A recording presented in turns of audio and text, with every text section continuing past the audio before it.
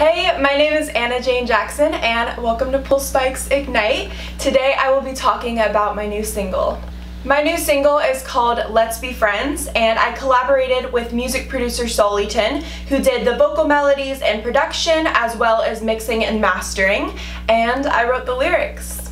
My inspiration behind the song was actually sparked by the very beginning of the track. I heard that busy club restaurant noise and people speaking in what sounded like Japanese. And so instantly my ideas just started flowing.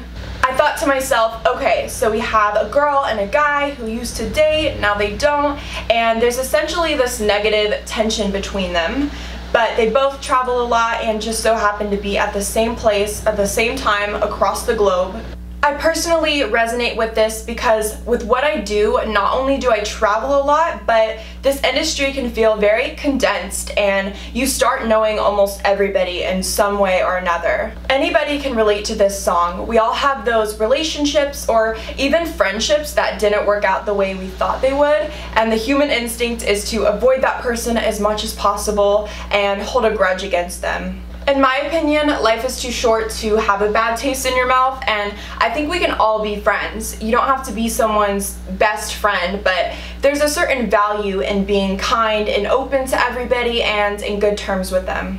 I definitely want this song to leave people not only in a happy mood, but I want it to leave them thinking as well. Also, it's a really fun song to dance to. I'm a terrible dancer, but no one's judging. Releasing my own music is something I am extremely passionate about and I'm really grateful that I have the opportunities to do so. I really dove out of my comfort zone with this song because it's different from what I usually create. I really love listening to dance and EDM style music as well as the more singer-songwriter type country pop so I think it's fitting and I hope people like it as well. You can buy and stream Let's Be Friends on iTunes, Apple Music, Spotify, and more, and I can't wait to share more music in the future.